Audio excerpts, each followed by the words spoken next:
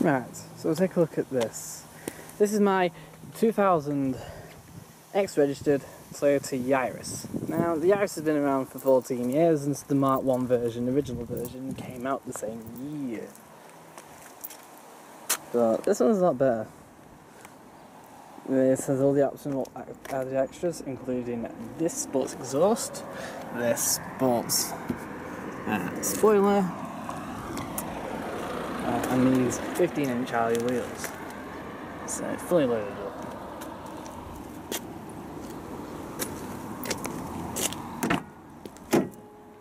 And we'll take a look inside. So we get two compartments. One here for your sunnies and a glove compartment as well. We've also got electric windows. And the inside's all sort of nicely done. See, there's plastic everywhere, there's no metal showing. So for a nine grand car, which originally it would have been, up towards 15 grand, depending what you had, this is quite good. You even got a CD player. And the ashtray, which can come out. And of course, cigarette lighter, the extra bit here.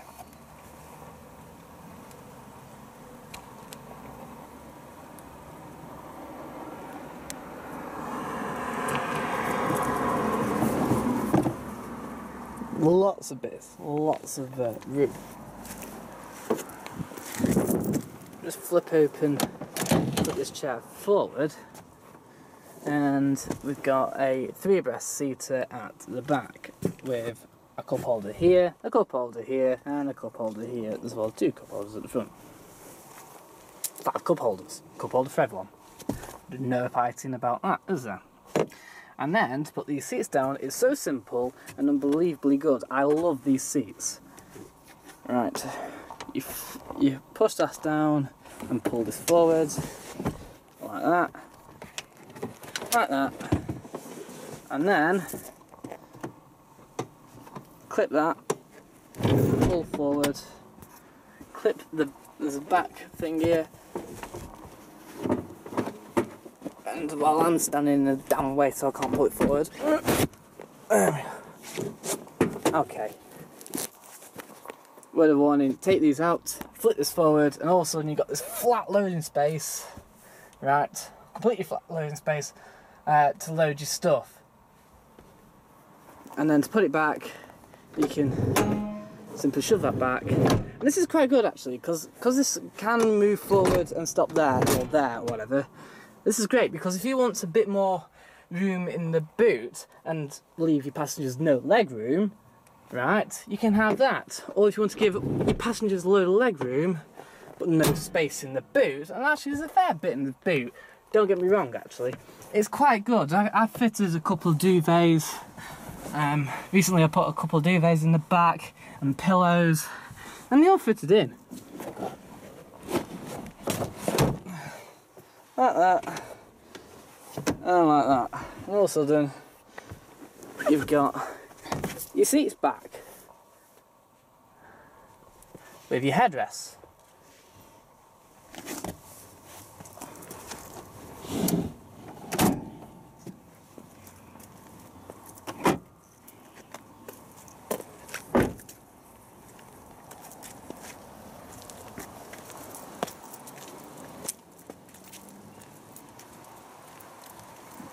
Now,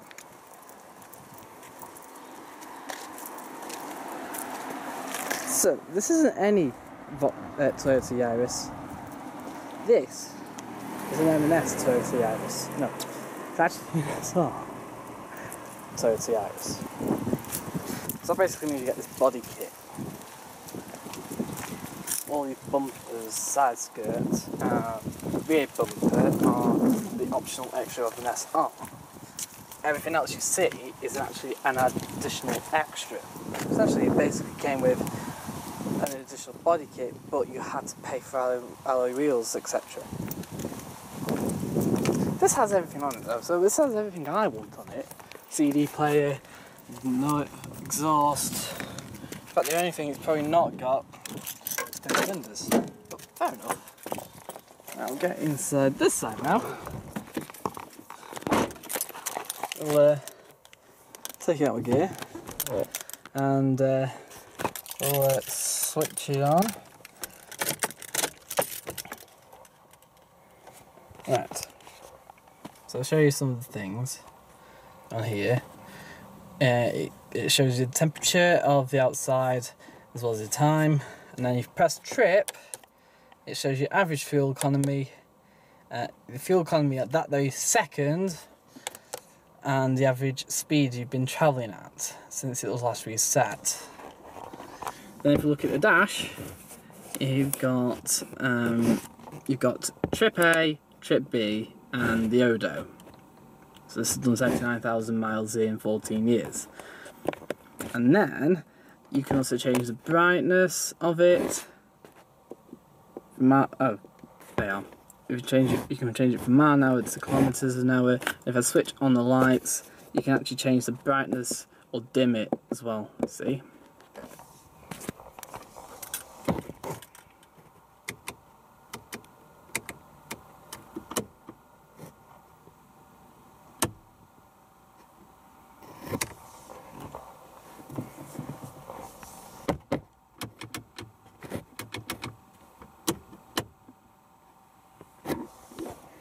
This is quite easy to uh, use as a CD player.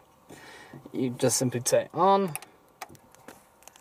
close up with your eject, and that's very easy to use for your radio. Just switch to radio.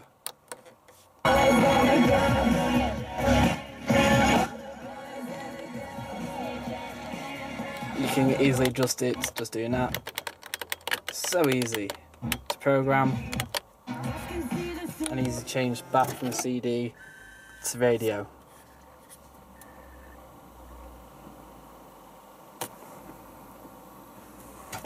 Easy. All the digits are very, very, very big. You may think, well, what's that got to do with anything? Well, it makes things easier. Okay, here's the trivia of it though. This was mainly bought by older people originally. But then again, why doesn't younger people have it? Actually, it makes sense to have this because this car has really good speakers for what it has. Has good speakers. It's very easy to uh, um, use and to drive. It's immaculate, which I'm going to actually show you now. So we're going to go for a drive, shall we? After all that. Oh, one the final thing. Bizarrely enough, it's also got uh, electric windows on either side. And you can even lock the opposite window, which is great when I had a dog in the car the other day. Stop in do it. It's also got central locking as you expect. And it's also got rear fog as you expect and electric mirrors. So you get pretty much everything you you need for a car. Okay, there's no iPod thing, but this is born in 2000, the iPod wasn't even around then, so what do you expect? Right. Overall, this is my favourite car. I've had four cars, and this is my favourite car. Even better than the Mercedes A-Class, which also came out at the same time. Um, and I'll show you why. Right, let's do a drive, shall we?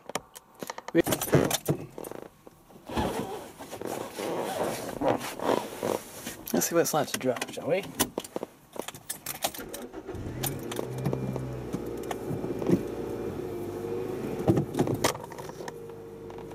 And knocks the camera backwards.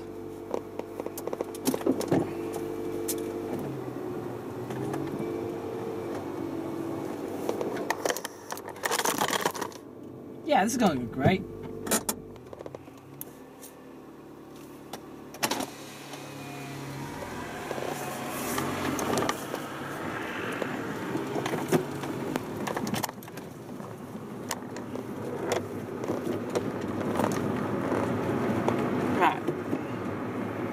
So we'll have some statistics, shall we?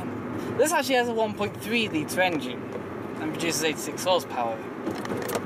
May not seem like uh, much, but in a car that weighs about 850 kilo, 900 kilo.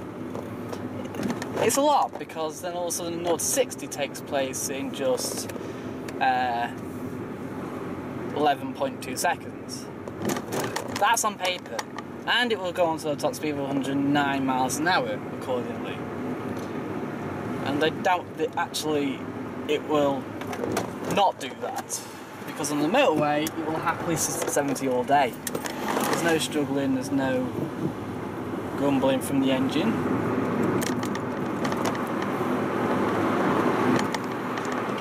This has a criticism though, as being a bit dull. I'm not so sure though. Okay, maybe the engine isn't. It's responsive. It responds quite quickly in higher gears, uh, lower gears, shall I say. But, and it is a big but.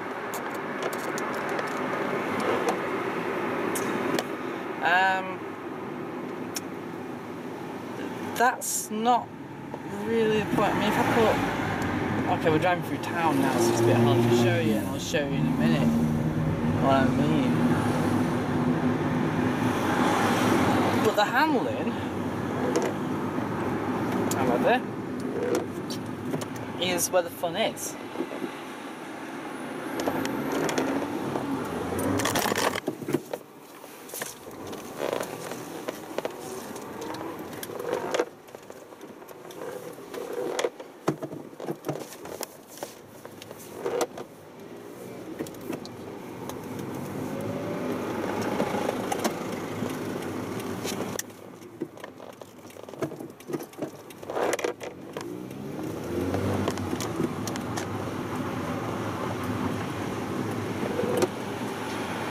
Go fit a freaking bus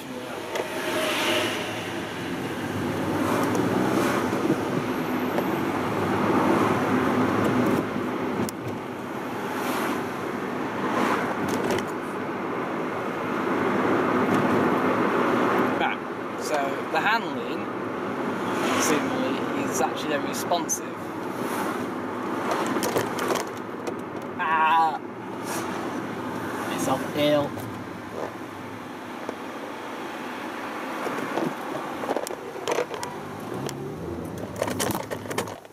Right. See what responsive is. So this whole idea of it uh, not really responding.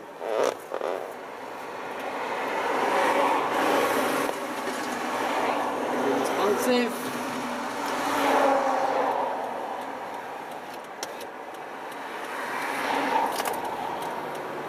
Yeah, right.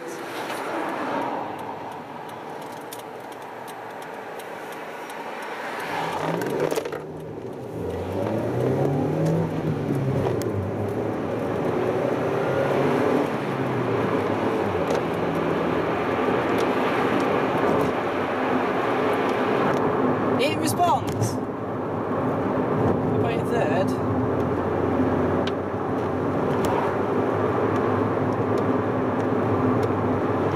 Because of its uh, VVTI 1.3 VVTI engine, basically it means we have eco valve, and then as soon as you want the power, it gives you the power valve. But the eco valve's up to about 3000 RPM, then the power valve kicks in. So you get this sort of nothing, nothing, nothing, nothing, nothing, nothing. There's sort of all nothing all the way there, to be honest. It's nothing to about 4,000 RPM, then it kicks in. And you don't realise it's so smooth, you get end up getting pushed back into your seat. So essentially, what it does is uh, makes for a unusual driving experience. Then there's the handling. It goes where you want it to point. And not only that, it kind of limits you because it, because it's uh, wallows in the corners a little bit. But then you turn the wheel more, and it still keeps on going and going and going. It's, it's bizarre. If you go into a corner, you think, "Oh, this is too fast." You turn the steering wheel a bit more, and it's fine. Completely clinging on into the kit corners. It will cling on to white lines perfectly. So, overall, this car is absolutely brilliant. Okay, maybe there's not much street rep about it, but it's much more reliable than any other car I've had. Saying that I don't have cars very long, it all seems to get written off. Uh, this seems to be impeccably good for the money, and it's 14 years old, used, and expect for 295 pounds. It's actually pretty good. Even after all this time, it still feels pretty solid.